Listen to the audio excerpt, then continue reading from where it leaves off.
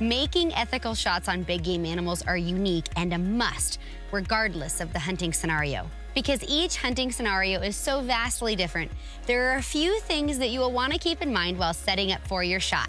The first consideration that anyone should make is do you have the ability to make an ethical shot? If there is any question in your mind or you feel uneasy at any time about taking a shot, it is always better to get closer or simply wait for a better opportunity. Do not ever let someone tell you that you need to make a shot that you're not comfortable with or rush you through the process.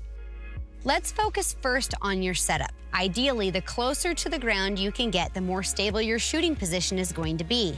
If you can get into a prone position, absolutely do it. But be aware of any brush or rocks that might be in line of bore that is not in the line of sight of your rifle scope. The last thing you want to do is break off your shot and hit a rock or a bush that is directly in front of you instead of your intended target. So there's a lot of options out there today that will help us get off the ground and over the top of vegetation. Regardless of the shooting position that you end up building, you have to be sure that you go through a mental checklist of all the fundamentals of marksmanship. This mental checklist might seem long, but as you become competent as a shooter through practice, all of these things will become second nature.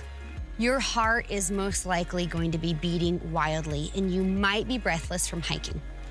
So take one or two really deep, calming breaths, and at your natural respiratory pause, press the trigger with straight rearward pressure. Ideally, you hold this trigger press throughout the recoil process of your rifle until your sight picture is regained. As a hunter, you owe it to the animals you hunt to practice shooting your hunting rifle in realistic situations so that when the moment of truth arrives and the animal of your dreams is in your crosshairs, you've done everything possible to be quick, efficient, and most importantly, ethical when breaking your shot.